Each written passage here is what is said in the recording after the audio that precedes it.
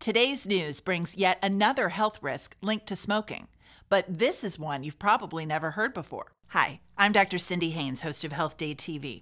Getting teenagers' attention can be a challenge, but in some cases, young people may have trouble hearing due to secondhand smoke. In a new study, researchers from New York University included more than 1,500 non smoking 12 to 19 year olds. All underwent hearing tests and gave blood samples to check for a marker of tobacco smoke.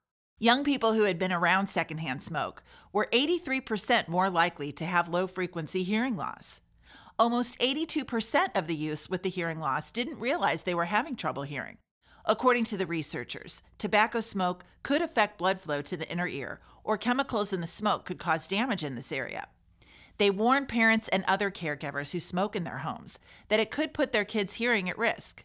In addition, teens who are exposed to secondhand smoke may benefit from being screened for hearing loss. I'm Dr. Cindy Haines of HealthDay TV with the news that doctors are reading, health news that matters to you.